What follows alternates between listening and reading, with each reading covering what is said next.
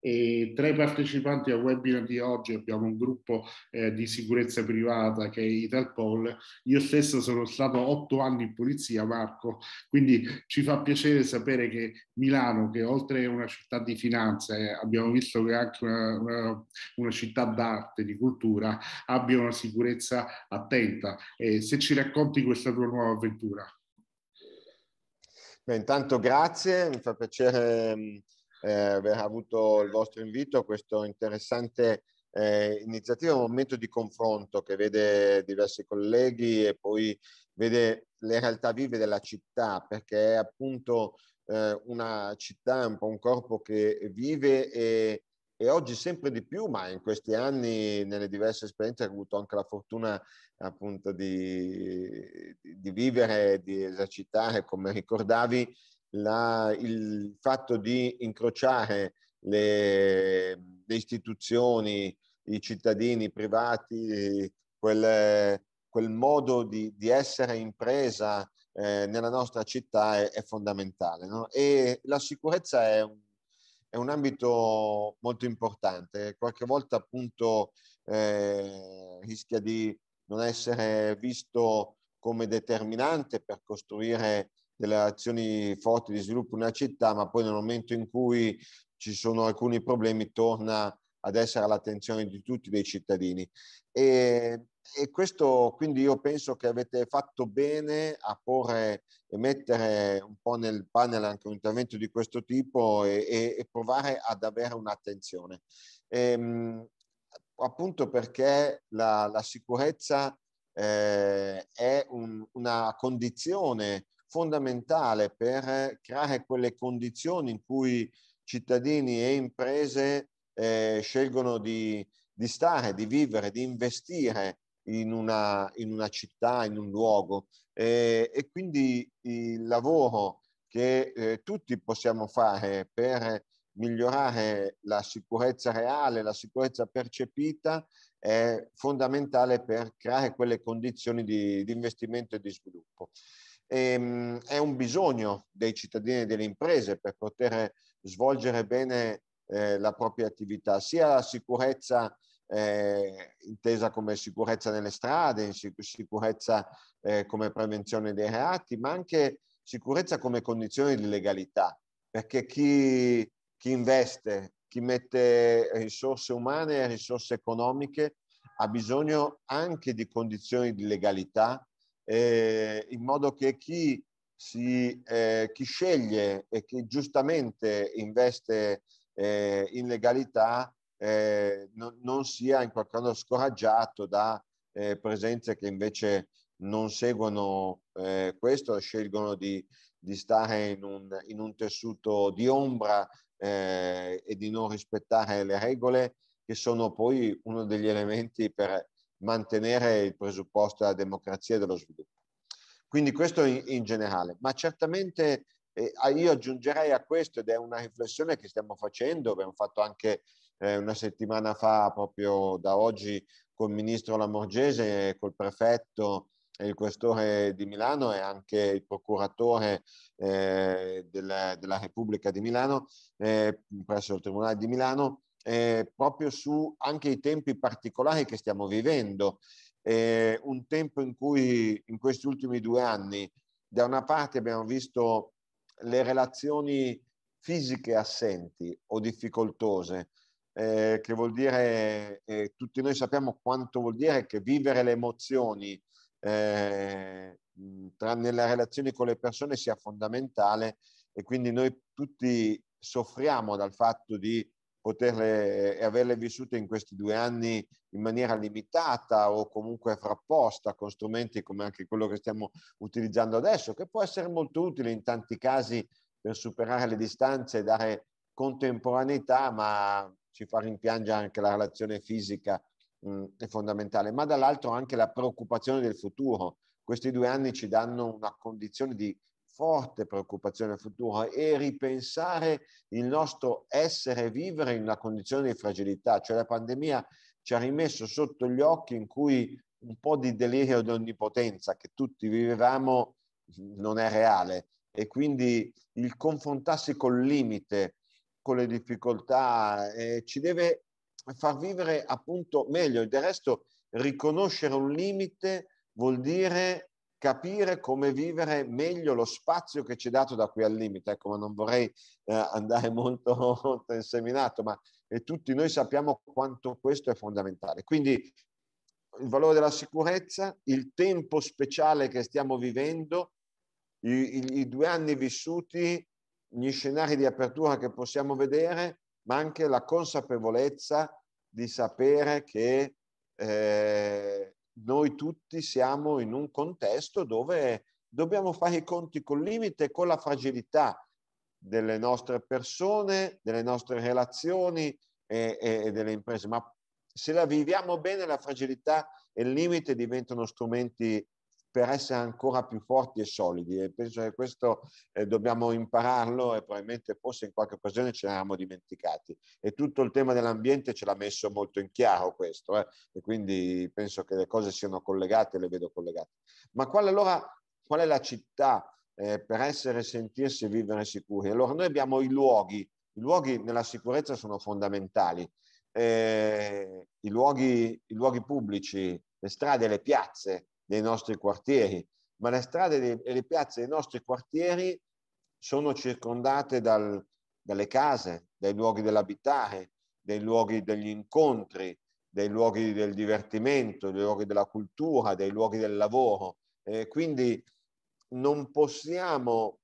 pensare che la sicurezza delle strade e delle piazze eh, non sia connessa con la qualità dell'abitare, la qualità degli spazi del lavoro, la qualità degli spazi del, del vivere, dell'incontrarsi, del relazionarsi, del divertirsi, del fare cultura. E quindi se noi dobbiamo eh, rendere i luoghi pubblici per antonomasia, no? le strade, le piazze della nostra città, i luoghi dove, dove ci incontriamo, dove viviamo, ma che poi sono anche luoghi eh, del verde nella nostra città, ma come i luoghi della mobilità della nostra città. No? Ecco, allora dobbiamo certamente invocare di avere il controllo attraverso le persone, le telecamere e insomma e anche appunto col ministro eh, lunedì abbiamo parlato di più uomini e donne che ci aiutino a controllare, di più telecamere, ma se noi non riempiamo le strade di relazioni, se noi non facciamo che le strade sia lo spazio fra le case, lo spazio fra i luoghi di incontro, di lavoro e, e, e, e ci sia questa forte permeabilità e la vita le renda sicure. E non possiamo pensare a una sicurezza fatta solo da chi controlla. La sicurezza vera ha bisogno di vita, di frequentazione, di, di, di spazi vivi che sono vissuti dalle persone perché si sentono sicuri e questo porta più, più sicurezza. E questo non può essere, non è solo un compito del pubblico, ma è un compito che possiamo fare insieme. Il pubblico può e deve creare le condizioni perché ci, siano, eh, ci sia questa azione proattiva de, dei soggetti vivi del corpo sociale eh, che va dal singolo cittadino ai associati, alle imprese eh, e, e, oggi abbiamo sempre più un mix che incrocia, no? perché sappiamo che una buona impresa ha bisogno delle risorse ma ha bisogno di lavoratori, di cittadini, ma ha bisogno anche di fruitori, quindi è tutto strettamente collegato. Quindi certamente il nostro investimento come amministrazione è quello nel creare eh, della, una maggiore presenza di uomini e donne attente al rispetto delle regole, ma creare quelle condizioni perché questi luoghi siano il più eh, possibile vissuti. L'altro giorno, ad esempio, eravamo no, in Loggia dei Mercanti mh, a, a, riflettere su come uno dei luoghi che abbiamo scoperto anche con recenti episodi insicuri. E certamente abbiamo detto presenza di polizia, presenza di telecamere, eccetera, ma poi ci siamo detti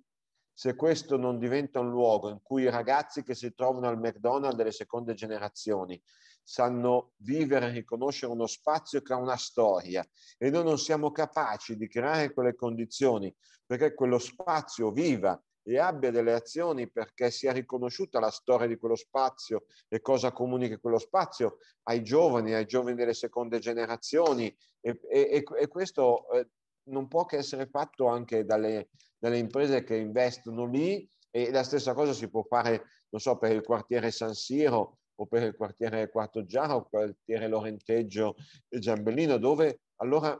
la capacità di creare un nuovo modo di abitare un nuovo modo di fare cultura e di fare impresa, eh, quello ad esempio che nel Lorenteggio vuol dire un buon mercato, eh, eccetera, eh, questo è fondamentale. Quindi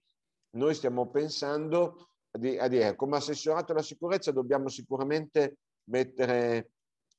il controllo, ma poi lavorare molto in sinergia con, eh, con gli altri colleghi e le altre direzioni per fare questo insieme, perché non c'è un prima e un dopo. No? Qualcuno dice eh, prima di avere le telecamere, no, c'è un, conte, un essere contemporanei e nel agire in maniera sinergica e questo lo possiamo e lo dobbiamo fare insieme con i privati e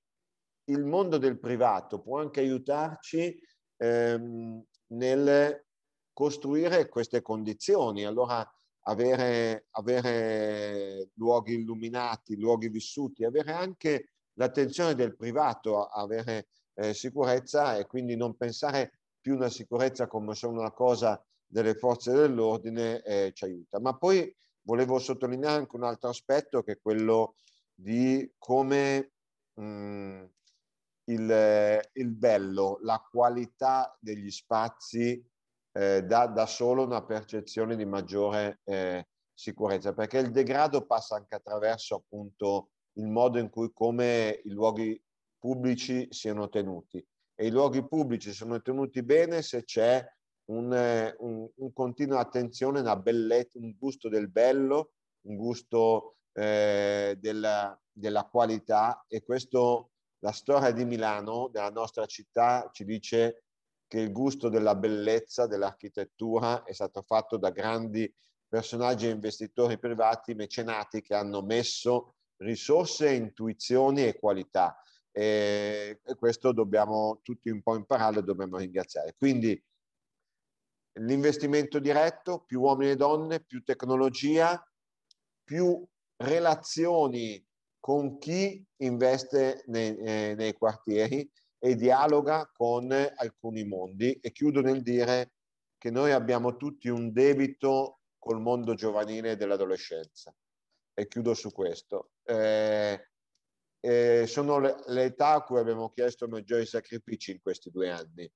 mm, perché tutti sappiamo siamo stati adolescenti e molti di noi hanno avuto degli adolescenti come padre, ma eh,